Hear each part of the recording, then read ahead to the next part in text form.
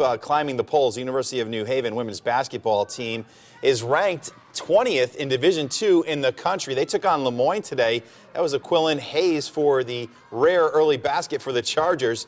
The Dolphins of Le Moyne, though, came and just fired the ball like crazy. Took a 23 7 lead in this game, but the Chargers raced all the way back to win this one and win it going away, too.